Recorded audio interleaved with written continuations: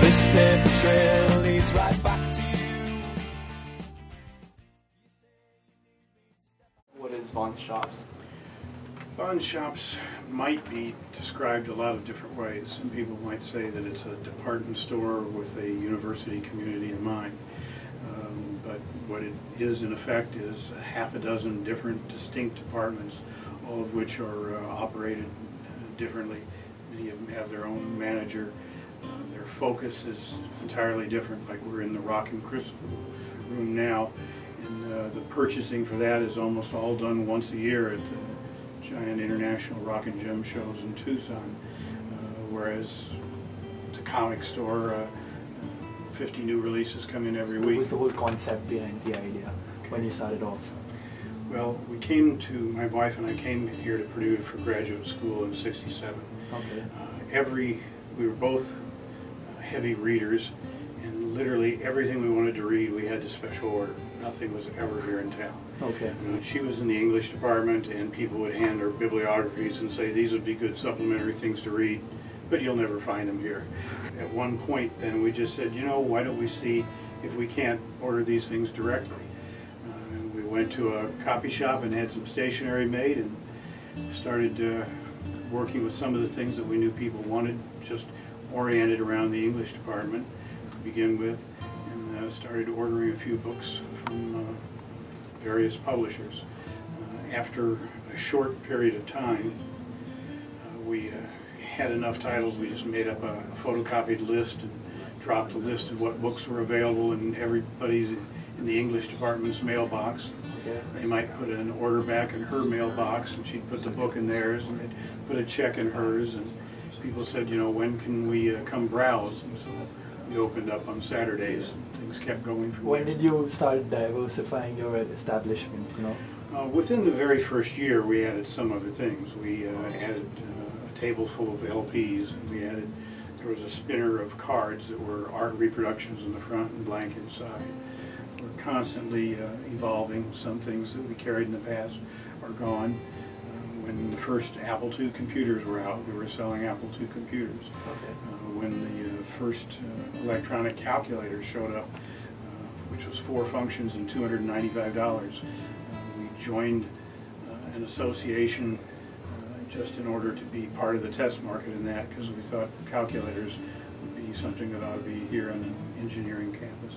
So uh, some of those things have left as they uh, became common elsewhere and weren't needed anymore. When you started your business, did you have a business model that um, you used to plan everything out with? And do you remember what it looked like, kind of? Um, When we started, we broke all the rules, and there wasn't a set model. Uh, We saw a need, and my wife and I just said, let's go ahead and do something about this. Uh, We began just with uh, books, and uh, it was operated out of the dining room of our apartment.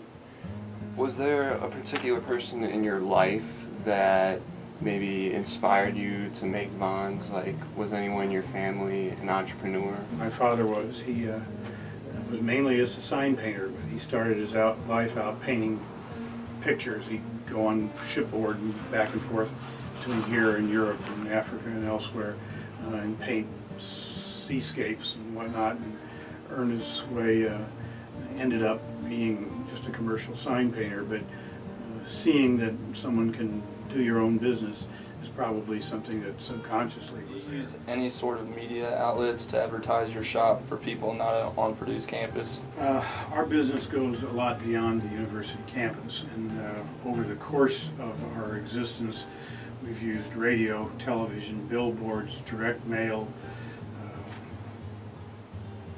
obviously newspaper advertising, um, but uh, each of the things kind of has seen its peak and and gone away.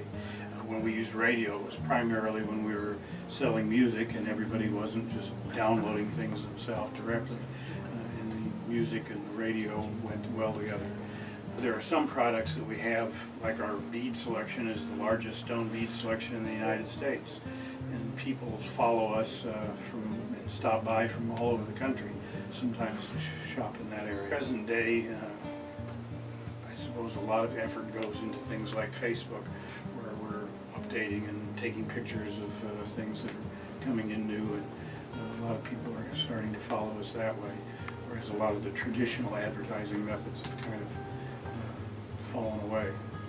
This is the first year in, oh, probably 30 or 40 years that I haven't had a contract with the Purdue newspaper for uh, advertising, because it just didn't do what it used to do. Back when we were in one room in our apartment, and we placed a two-column inch ad, we might uh, have 50 people respond to it. and- and So uh, now you could, I suspect, do a whole page and not get that kind of response. Have you ever just thought about opening a second location anywhere else? A couple times I tried to help someone else, not in the immediate area, a little farther away, do something similar. And I felt that I couldn't really supervise and, and keep track of things if it got very far away. Uh, And I feel, as it is, very split among all the different sub-areas of the store, that uh, it's more than I believe I could keep track of uh, shifting to another location. Uh, I don't think I'd ever try to sell the business because there's just too many different things and, and everyone works so differently and to, uh, to keep them all balanced, everything up in the air, not willing to think about doing more.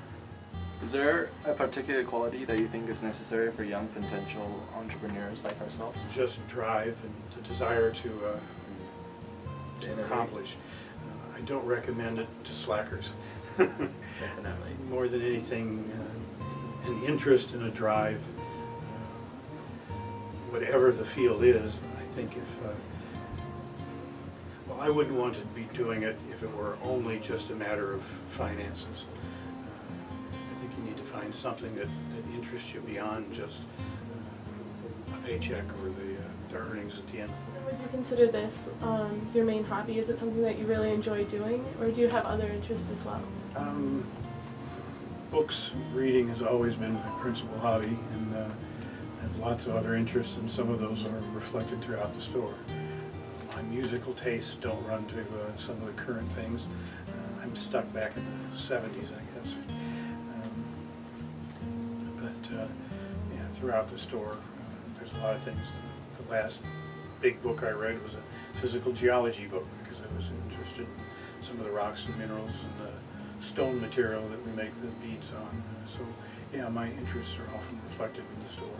And sometimes there are things that uh, are reflected of other people in the store. We got into carrying comics because one of our employees was very interested in them and we allowed him to develop it. Uh, The fashion department was developed entirely by my daughter. and uh, I stay away from it. That's, that's her baby.